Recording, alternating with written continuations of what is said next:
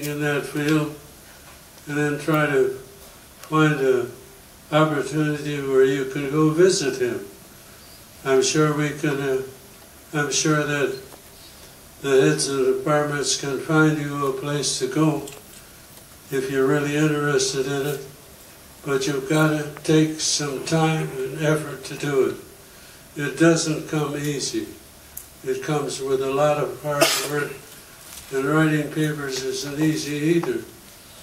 I remember one of the first papers that Dr. Wade had. I corrected it about three times and then gave it to my wife to correct it. and she still corrected it too.